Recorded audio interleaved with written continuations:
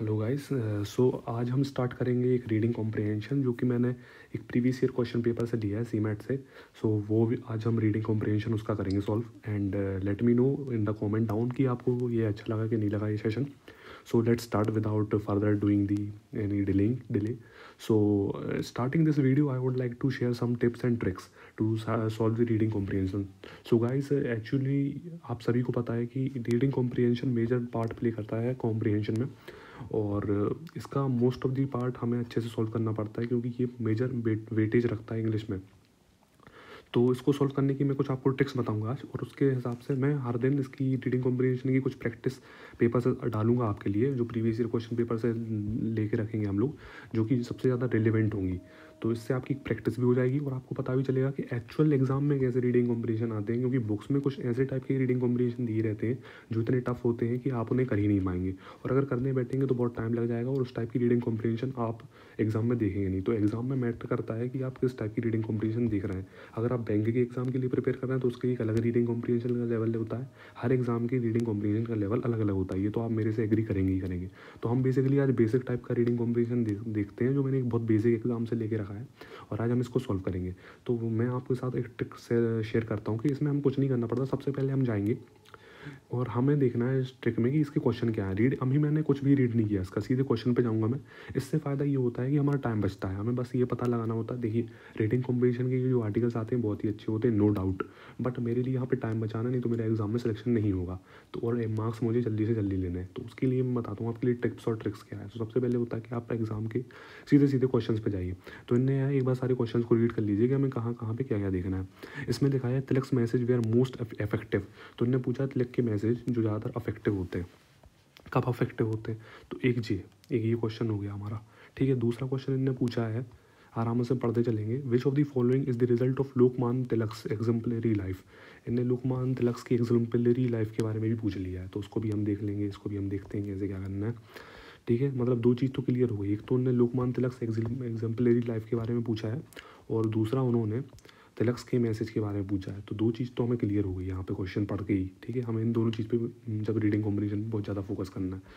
तीसरा क्वेश्चन हो गया इनका which of the following is the general tendency of the critics according to the passage अब इनमें यहाँ पे इनने क्रिटिक्स पे फोकस करा है generally tendency of the critics in the passage तो ये हमने यहाँ पे देख लिया। अभी मैं यहाँ पे टिक करके दिखा रहा हूँ आपको आपको यहाँ पे वो, वहाँ पे कंप्यूटर वाला वर्जन होगा तो आप उसको नहीं कर पाओगे। So basically you need to use your pen and paper in the rough sheet that's all so further without further ado, let's move. In the context of the passage are reformers becomes effective if तुमने ये भी पूछा है कि reformer के बारे में पूछा है, यहाँ पे पता होना चाहिए किस चीज़ के बारे में पूछा है रिफॉर्मर के बारे में पूछा है कि वो कब अफेक्टिव बनता है, ठीक है? Done instead and which of the following writers is can be moral in their profession life and the lack in public life तो उनने यहाँ पे एक राइटर के बारे में पूछा है, जो मोरल पर्सनल लाइफ में और lack in the public life मैं कुछ नहीं कर रहा हूँ बेसिकली मैं सारे क्वेश्चंस पहले पढ़ रहा हूँ, और मेरा कुछ नहीं है। पहली टेक मेरी, पहली टेक्निक मेरी यही है, ताकि मैं जब रीडिंग कॉम्पिटिशन पढ़ूँ तो मुझे पता रहे कि मुझे कहाँ से क्या क्या लेना है। In the context of the passage which of the following statements about Tilak and the reformers is true Tilak और उसके रिफॉर्मर के बीच में ऐसे कौन से कॉन्स्टेक्ट हैं जो ट्रू हैं? ठीक है, इसमें से कुछ सही होंगे, कुछ गलत होंगे तो वो देखना है हमें तो कौन से ट्रू होंगे तो ये देखना है, ठीक है? ठीक है। और ये हमारे यहाँ पे इतने क्वेश्चन बनते हैं इसके। ठीक है, इतने इसके क्वेश्चन बनते हैं। तो अब हम कुछ नहीं करेंगे, हमें समझ में आ गया। एक बार हम सारे क्वेश्चंस को फिर से देख लेंगे कि इसमें तिलक के मैसेज को पूछा है लोकमान तिलक के मैसेज इसमें उनकी लाइफ के बारे में पूछा है, इसमें उन्होंने क्रिटिक्स के बारे में पूछा है, ठीक है? ये आप अपनी रफ शीट में लिखते जाना कि वो किस किस चीज़ के बारे में पूछ रहा है। मैं आपको ट्रिक बता दूँगी आपको सॉल्व कैसे करना है रीडिंग कॉम्बिनेशन ठीक है? फिर आपको रिफॉर्मर के बारे में लिखना कि अफेक्टिव कौन है।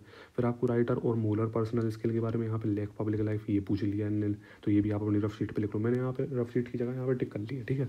In the context of the passage which of the following statement about the Lokmanya Tilak and the reformers is true तो लोकमान तिलक और रिफॉर्मर के बारे में कुछ ट्रू एक्सपेक्ट तो उसके लिए, इस टाइप के क्वेश्चन के लिए हमें पूरा पैसेज पढ़ना पड़ता है।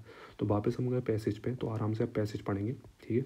The reformer must know words move the people in the authenticity authentic life not merely writing तो हमने, याद है आपको, एक रिफॉर्मर के बारे में क्वेश्चन आया था। तो यहाँ पर रिफॉर्मर के बारे में क्वेश्चन आया तो पक्के में ये लाइन हमारी बहुत इंपॉर्टेंट हो जाएगी। तो मैंने क्वेश्चन नहीं पहली लाइन से मुझे क्लियर हो गया कि रिफॉर्मर के बारे में कोई क्वेश्चन आया था और वो मुझे लिखना है, ठीक है? अब दूसरी बात करेंगे the newspaper in the journals of the Tilak's reforms ran and wrote some books and had little had enormous effect तो आप लोग को याद होगा कि ऐसी राइटिंग के बारे में भी क्वेश्चन आया था शायद सेकंड या सेकंड या थर्ड क्वेश्चन इस बारे में था। तो मुझे ये, अभी मुझे याद नहीं है, लेकिन हल्का हल्का याद है मुझे। तो मैंने इसको भी टिक कर लिया कि मुझे इंपॉर्टेंट लग रहा है, ठीक है। दो लाइन मेरा हो गया। Their writing had little lone effect to reflect the extension and exemplary life they lived and it is it was authenticity of their lives which lent to the weightage, weight of the message of their example. All they knew that there were lives lives. आप क्या कर सकते हैं? आप इसको pause करके पूरा पढ़ भी सकते हैं। पूरा आप ये पैसेज पढ़ लीजिए इसमें। मैंने इसको ऐसे कर दिया, पूरा पैसेज पढ़ लो आप, ठीक है? और अपने हिसाब से आप अपने आंसर देने की कोशिश करेंगे, ठीक है? It was authenticity of the life आराम से पढ़िए, कोई दिक्कत नहीं। मैं आराम से अपने अंदर पढ़ रहा हूँ।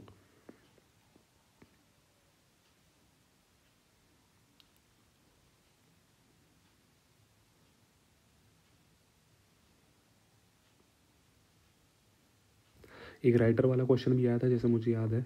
एक राइटर वाला भी क्वेश्चन था, वो देख लेंगे। एक राइटर पे भी क्वेश्चन था which of the general tendency of critic reformer becomes reformer का क्वेश्चन तो एक राइटर हाँ ये वाला क्वेश्चन आया था राइटर पे। तो राइटर पे यहाँ पे बात हो रही है तो मैं कुछ नहीं कर रहा हूँ, बस मैं वर्ड्स टू ढूंढ रहा हूँ। तो यहाँ पे राइटर की बात हो गई है, ठीक है? और राइटर तो राइटर का कुछ डिफाइन करा है इन लोगों ने तो मैंने कुछ नहीं किया बेसिकली मैंने टिक कर दिया उसको। ठीक है but a writer who sets to his pen in form the can not afford the dualities there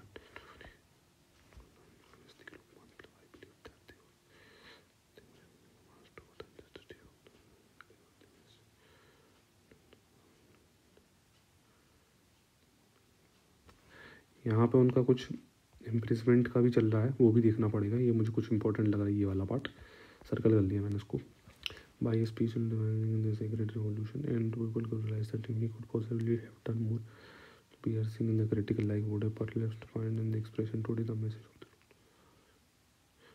तो भाई हम लोगों ने फिर से अच्छे से पूरा मैं ये पढ़ लिया है सॉरी मैं इसको फिर से ले जाता हूँ वहाँ पे हाँ ये इस बार हमने इसको अच्छे से पढ़ लिया है एक बार आप चाहें तो मैं इसको यहाँ पे सेट कर रहा हूँ आप पॉज करके पूरा पढ़ सकते हैं आराम से ठीक है स्क्रीन की मुझे साइज़ में कोई कमी नहीं लग रही। आराम से पढ़ सकते हैं। आप इसको पॉज करिए और आराम से पढ़ लीजिए एक बार। आपको तसल्ली करनी हो तो। मैंने पहला पढ़ लिया। मुझे लगभग आंसर मुझे लग रहा है। मिल चुके हैं मेरे। ठीक है? अब हम कुछ नहीं करना। जो हमें इंपॉर्टेंट लगा, हम उसमें आंसर निकालने बस। तो पहला क्वेश्चन इनका था Tilak's message was most where most effective Tilak के मैसेज कम मोस्ट अफेक्टिव थे? तो ये चीज़ हमने देखा इम्प्रिजमेंट वाली चीज़ थी कि वहाँ पर इनने बोला है कि his influence was multiple improvement in the speech his fan has required much greater power before he request discharge before his before his imprisonment तो उन्होंने बोला है कि उनकी पेन में मतलब उनकी राइटिंग में बहुत ज़्यादा पावर आ गई थी उनकी इम्प्रिजमेंट के डिस्चार्ज होने से पहले। तो मेरा आंसर कुछ नहीं हुआ यहाँ पे। देखिए, अब जैसे मैं आपको आंसर दिखा दूँ यहाँ पे क्या हुआ। ठीक है सो बेसिकली आफ्टर दैट ये तो गलत हो गया, ये कुछ बात ही थी नहीं। ठीक है डिलीवर्ड हिज पीसेज ये भी ऐसी कोई बात नहीं लिखी। डिलीवर एडिटोरियल थाट्स ऐसा भी कुछ नहीं लिखा। बिफोर हिज इम्प्रिजमेंट ये बात लिख के आई है तो ये आपका आंसर हो गया। ये आपका आंसर सही हो गया, ठीक है? डन एंड डस्टेड पहला क्वेश्चन हो गया सर दूसरे क्वेश्चन पे आया लोकमान तिलक और exemplary life which of the following is the result of Lokmanya Tilak exemplary life ठीक है, चलिए, ऊपर चलते हैं फिर से। ठीक है? एग्जाम्पलरी लाइफ का भी हमने टिक करके रखा था ऐसा कुछ। फिर से हम पढ़ लेंगे अगर आपको मिल नहीं रहा हो तो आप फिर से पढ़ सकते हो उसको। मैंने फिर से सेट कर दिया आप पॉज करके इसको पूरा पढ़ सकते हो फिर से और ढूंढ लो आप। एग्ज़ाम्पल एग्जाम्पलरी लाइफ के बारे में उन्होंने पूछा है ठीक है? चलो भैया एग्जाम्पलरी लाइफ के बारे में बता देते हैं। ठीक है ठीक है कहाँ मिलेगा ये हमें? हम्म, यहाँ पे आपने देखा होगा कि अब हमने यहाँ पे जब पढ़ा था ना तो पहले के बाद writing is known to reflect the extension of exemplary life ये। ये ठीक है? And the authenticity of the layer life which lent to the weight of their messages to the ear example so basically यहाँ पे मैंने देख लिया, पढ़ लिया, इसको समझ लिया। अब मैं यहाँ पर नीचे जाऊँगा। ठीक है तो हमने क्या है? To his boss best put in the jail as a Mandalay ये ऐसा तो कुछ है नहीं है, ठीक है? ये तो कट जाएगा ऐसे। जेल की बयाने की तो बात ही नहीं हुई कोई। क्योंकि लोकमान तिलक से एग्जाम्पलरी लाइफ वाले सेंटेंस में जेल जाने की कोई बात ही नहीं people resolve his fulfills last dream, ऐसा भी कुछ नहीं होगा ठीक है newspaper edited by him not occur and monetary loss पाई उन्हें लॉस वॉस का भी कोई चक्कर नहीं था। ऑब्वियसली जब मेरे सारे के सारे ऑप्शन कट गए तो मेरा आखिरी एक ऑप्शन बचा, वो मेरा आंसर हो गया। The books written by him are we are useful return dusted तो भाई ये भी पक्की बात, और हमने ऊपर ही पढ़ा है कि उन्होंने जो बुक्स लिखी, वो sold less but had anonymous effect बड़ा अफेक्ट था उनका। Their writing were known to reflect but just an extension of their exemplary life उनकी राइटिंग तो बहुत कम थी मतलब वॉज़ नोन टू रिफ्लेक्ट उनकी एग्जाम्पलरी लाइफ को रिफ्लेक्ट कर दी थी उनकी राइटिंग तो हमारे दो आंसर एकदम सही हो गए आगे बढ़ते हैं। Which of the following is the general tendency of the critics according to the passage तो क्रिटिक की क्या टेंडेंसी है अकॉर्डिंग टू द पैसेज ठीक है, कुछ नहीं क्रिटिक्स वाले पे हम चलेंगे। और एक्चुअली आप एक और अच्छे से चीज़ कर सकते हो, जैसे ये पैसेजेस हैं तो आप अपने रफ शीट पे वहाँ पे जो आपको मिलेगी क्या कहते हैं, वहाँ पे जो आपको मिलेगी सेंटर पे तो उसको आप क्या कर सकते हो ना, यहाँ पे पैराग्राफ के बारे में लिख सकते हो कि यहाँ पे उनने उसके बारे में बताया। किसके बारे में बताया? क्या कहते हैं क्या कहते हैं रिफॉर्मर्स के बारे में आता है रिफॉर्म्स के बारे में बताया। ठीक है? रिफॉर्म्स के बारे में बताया बेसिकली ठीक है? इस वाले इस वाले उसमें क्या बताया? इस वाले उसमें उन्होंने राइटर के बारे में बताया कि उनकी एग्जाम्पलरी लाइफ क्या थी, कैसा था। फिर उनने यहाँ पे उनने अपना क्या होता है I believe that do to real anything sing to kilometer but Tilak spoke Mendel forester इनने उनने कुछ अपनी पेपर न्यूज़पेपर की लाइफ के बारे में बताया, ठीक है? यहाँ यहाँ पे आप लिखते जाइए बाजू बाजू में, किस पैराग्राफ में? इससे क्या हो ना, आपको याद रहेगा कि किस पैराग्राफ में क्या था और आपको आंसर ढूँढने में बहुत आसानी रहेगी। ये सेकंड ट्रिक थी कि अपने एनाटोट कर दो। अपने हर पैराग्राफ को बता दो कि क्या इंडिकेट कर रहा है, ठीक है? रफ शीट पर ये आपको बता मैं मान रहा हूँ कि इसमें थोड़ा टाइम कंज्यूम है, लेकिन आपकी हार नो है ना, गजब की सॉल्व होगी इसके बाद। आपको ज़्यादा टाइम वेस्ट नहीं करना पड़ेगा। If this influence was multi multiplied thousand folded by imprisonment of this ठीक है, यहाँ पर उनने इम्प्रीजमेंट की बात कर दी लो ये क्लियर हो गई। ठीक है, आगे बढ़ो अब। अब इनने अपने दो आंसर तो हो गए। Which of the following is a general tendency of the critics critics according to the passage critics के अकॉर्डिंग टू द पैसेज तो क्रिटिक वाला लास्ट पैराग्राफ था, हमें पता है। ठीक है तो क्रिटिक लाइक मी इन्होंने बोला भी है critic like me perhaps still be finding fault in the expansion of this and that मतलब क्रेटिंग यहाँ वहाँ गलतियाँ खोजता रहता है। यहाँ पे आप इस पैराग्राफ को फिर से पूरा पढ़ सकते हो। यहाँ पे क्रेट पूरे पैराग्राफ में क्रिटिक की बात यहीं पे हुई है। बेसिकली तो आंसर यहीं पे मिलेगा। सीधी बात है। शब्दों को ढूंढना है। कॉम्प्रिहेंशन देखिए टाइम बिल्कुल नहीं लग रहा। हम खटाखट सॉल्व करते हैं to fault the ones to find the fault with one and other expression of the writer to praise the other writers ऐसा तो करता नहीं है critic to commend one and all the reformer writers ऐसा भी नहीं किया। टू जस्टिफाई द क्रिटिज्म ऐसा भी नहीं किया उसने। तो ऑटोमेटिकली ये मेरा आंसर हो गया। क्योंकि वो यहाँ, वहाँ वर्ड्स ढूंढता रहता है। राइटर कौन वर्ड्स ढूंढता रहता है? राइटर फॉल्ट्स ढूंढता रहता है। फॉल्ट्स बेसिकली आगे बढ़ते हैं। In the context of the passage or reform, context of the passage, a reformer becomes an effective becomes effective. If कब रिफॉर्मर इफ़ेक्टिव होता है कब? He is a journalist with an objective view point जब वो एक journalist होता है और एक ऑब्जेक्टिव व्यू पॉइंट होता है he is the author with an excellent writing style ठीक है? ये सारे ऑप्शन आप पढ़ लीजिए. He is a person with the consistency in his writing and life style he is a good critic of social practice तो ये आ गए आपके चार पॉइंट ठीक है? इन चार के चार पॉइंटों में से हम बेसिकली देख रहे हैं कि इनमें से कौन सा हमें मिल जाएगा। तो हम रिफॉर्मर का पैराग्राफ हमने पहले ही एनोटेट कर दिया था कि वो पैराग्राफ नंबर वन था। मैंने रिफॉर्मर की बात यहाँ पे कर दी थी, ये हमें याद होगा। और आप इसको नहीं याद रख सकते तो आप अपनी रफ शीट पे लिख लीजिए, ठीक है? तो यहाँ पे क्वेश्चन क्या था, इन्होंने पूछा था रिफॉर्मर कैसे काम करेगा। तो वापस क्वेश्चन पे जाते हैं रिफॉर्मर हमें पता है कि कौन से पैराग्राफ में है। In the context of the passage reformer becomes effective reformer कब इफ़ेक्टिव होता है? तो जब हम पैपस पैपस पैसेज पे जाएँगे, ठीक है? Reformer must know words moves the people in authentic life reformer को पता होना चाहिए कि पीपल को क्या ऑथेंटिक लाइफ में मूव कर रहा है। सिर्फ़ राइटिंग से काम नहीं चलेगा। यहाँ पे लिखा भी सिर्फ़ राइटिंग से काम नहीं चलेगा। ठीक है, बड़े भाई? तो बस हमने एक लाइन पढ़ ली अब इसी से सॉल्व हो जाएगा, आप देखना। ठीक है, क्योंकि रिफॉर्मर की बात पूरी वहीं पे हो रही थी। His journalist and objective view point ऐसी तो कोई बात ही नहीं हुई। लेकिन अभी हम इसको एलिमिनेट नहीं करते हैं ठीक है? पढ़ते रहते हैं इसको। He is a author of excellent writing style तो हमने ही तो पढ़ा है कि राइटिंग स्टाइल का कोई लेना देना ही नहीं है। He is a person of the consistency writing and consistency और राइटिंग स्टाइल लाइफ स्टाइल की बात ही नहीं हुई। He is a good critic of the social practice ऐसी ही कोई बात नहीं हुई। तो ऑटोमेटिकली जो मेरा फ़र्स्ट होगा, वो आंसर होगा। He is the journalist with an objective view point ठीक है सर? एलिमिनेशन करके। आप तीसरी ट्रिक ये होती है कि हर चीज़ का आप एलिमिनेशन करो। बिना एलिमिनेशन के आपके आंसर नहीं आ सकते। ठीक है? Which of the following types of writers can be a moral in their personal and lack public life ऐसे कौन से राइटर हैं जो मोरल हो सकते हैं लेक देयर पब्लिक लाइफ तो वापस हम वापस राइटर्स पे जाएँगे और मोरल ये शब्द ढूंढेंगे मोरल वगैरह, ठीक है? ठीक है, ये हो गया, हम ढूंढते हैं वो, कहाँ मिलेगा हमें।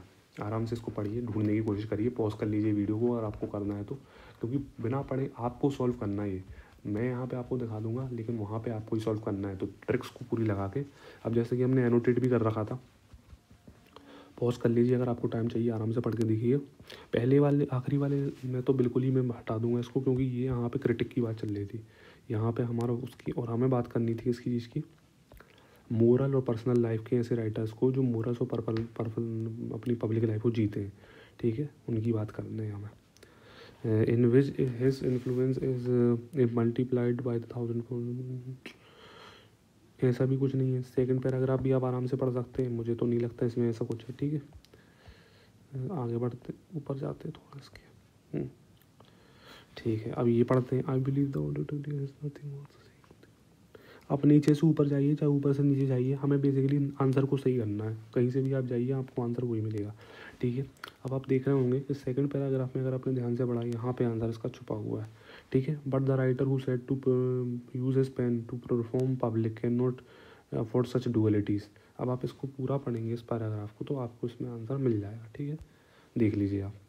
A writer who's merely entertaining his, his readers, even one who's merely informing them, informing them, and can do what he wants with the rest of his life. Basically यहाँ पर रेस्ट ऑफ़ लाइफ के वो क्या कर रहा है वो बताया गया है। But the writer who set out and use pen to reform the public can not afford such basically इन्हें ये बताया कि जो राइटर एंटरटेनमेंट के लिए लिखता है वो ये सब कर सकता है। लेकिन जो राइटर पब्लिक रिफॉर्म करना चाहता है वो ऐसी ड्यूलिटीज़ नहीं रखता। ठीक है? His testimony of one great man is about the influence of another ठीक है? तो हम अब ये चीज़ हाँ, ये चीज़ हम इसका ठीक है? अब ये चीज़ हम इसका देखते हैं। ड्यूलिटीज़ के बारे में बात हुई है ठीक है? अब इनने पूछा है कि ड्यूलिटीज़ तो देखा लेकिन हमें मोरल और पब्लिक लाइफ के बारे में तो कुछ पता ही नहीं चला। तो वापस हम ऊपर जाएँगे। देखना है कि है कहाँ वो चीज़ ठीक है? ठीक है, ये मिल गया हमें, ठीक है। फ़र्स्ट पैराग्राफ सेकंड पे भी नहीं है थर्ड पे भी नहीं है फोर्थ नहीं ऑटोमेटिकली फ़र्स्ट देखना पड़ेगा। एनोटेशन के ये फ़ायदे होते हैं। तो रफ शीट पे आप लिखते जाइएगा कि कौन कौन से आपने स्किम कर लिए कि स्किम नहीं किए। सो यहाँ पर अपनी ट्रिक लगाते हैं, देखते हैं वो वर्ड्स कहाँ में lack moral and private life तो मुझे सामने सामने दिख रहा है लिख public and private life and not vice versa ठीक है? All the news life was integral whole ठीक है? It was authenticity of their life which lent the weight of the example, all the new was integrated whole they were not moral in public and lack in the private life, not vice versa.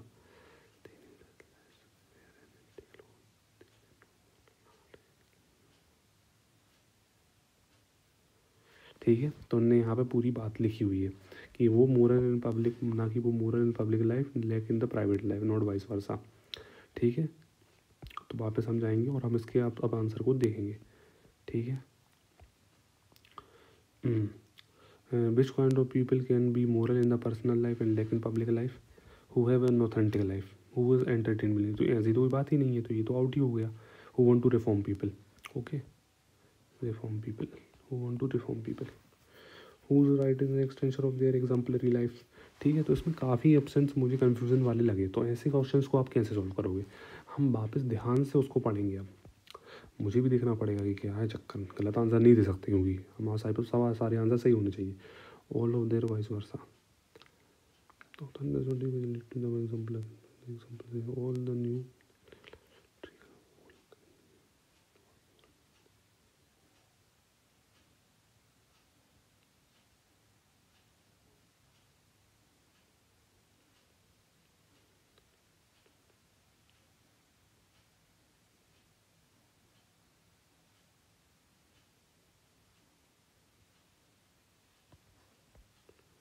तो basically मुझे समझ में आया कि authenticity के बारे में बात हो रही है।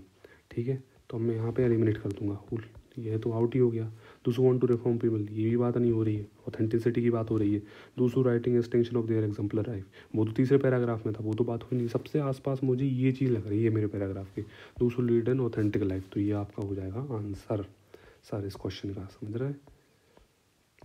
In the context of the passage which of the following statement about the Tilak's reforms is true Tilak के रिफॉर्म के बारे में कौन सी बात सही है they were more public in the private life but lack in the public life ठीक है their influence was people on अब हम इसमें एलिमिनेशन लगा देंगे क्योंकि हम पहले के पूरा पूरा पैराग्राफ पढ़ चुके हैं। Influence on the people was negligible ऐसा तो हो ही नहीं सकता। वो तो बहुत ही मतलब उनका अफेक्ट था पीपल्स पे। Very few people use to read news paper even from inside the jail ऐसी कोई बात ही नहीं करी है। ये भी एलिमिनेट हो गया। Which they were allowed to edit the news paper even from inside the jail ऐसी भी कोई बात नहीं ऑटोमेटिकली मेरा फ़र्स्ट आंसर हो जाएगा। और इसके साथ आपका पूरा आज का आर सी सॉल्व हो गया। और ये दूसरी क्वेश्चन चालू हो गई तो आज का पूरा क्वेश्चन आपका सॉल्व हो गया। आप इस वीडियो को फिर से देख सकते हैं और मैं डेली ऐसे आर सीज आपके लिए लेके आऊँगा जो प्रीवियस ईयर क्वेश्चन पेपर से आए हैं। आप गलत आर सी मत सॉल्व करिए। मैं सही बोल रहा हूँ आपको। सही आर सी का आपको आइडिया होना चाहिए कि कैसे सॉल्व करनी है। हमने अच्छे से इस आर सी को सॉल्व किया और तीन ट्रिक्स का इस्तेमाल किया। मैं आपको फिर से बता दूँ कौन कौन सी तीन ट्रिक्स पहली ट्रिक है कि क्वेश्चन को पढ़ लो। ठीक है? उससे फिर आंसर पहली ट्रिक है तो सीधे जाके क्वेश्चन को पढ़ दो, सारे सारे ऑप्शन पढ़ दो, सारे सारे क्वेश्चन पढ़ दो। रफ शीट पे कीवर्ड्स लिख लो, जैसे क्रिटिक के बारे में बात हुई है रिफॉर्मर के बारे में बात हुई है। और फिर दूसरा स्टेप होता है कि फिर आरसी को आरसी को पढ़ो और उसमें वो शब्द ढूंढो जो क्वेश्चन में थे। उसको ढूंढ ढूंढ के आप वो क्वेश्चन को सॉल्व कर सकते हो। तीसरा सबसे आखिरी ये होती है ट्रिक की आप एलिमिनेशन का इस्तेमाल करो, क्योंकि उससे ऑटोमेटिकली आपके सही आंसर पता हो जाते हैं आपको। ठीक है? तो आज आप जैसे कि देख रहे हो कि आज दस नवंबर है, ठीक है? दस नंबर हो, मैंने आपको सारे क्वेश्चन करवा दिए आज के। तो आज के लिए इतना ही। अगर आप वीडियो को लाइक आया तो आप ज़रूर शेयर करें। मैं अपने चैनल पर डेली एक आर सी सोल्व करवाऊँगा आपके लिए। वोकेबलरी की भी सीरीज़ चालू करेंगे। तो इससे आपका आप डेफिनेटली चाहे एनमेट दे रहे हो सी दे रहे हो, चाहे आप स्नैप दे रहे हो, कुछ भी दे रहे हो, सब में आर सी आता है और हम बेसिकली सबका आर सी कंप्लीट करके चलते हैं, ताकि आपके सारे एग्ज़ाम में अच्छे से आर सी के बने और आप पे आर सी आर सी से तो नंबर आपका कर नहीं चाहिए। मेरा ये मेजर पार्ट होता है और आपका अच्छे से होना चाहिए। That's all done and dusted thank you thank you for watching please like share and subscribe the video thank you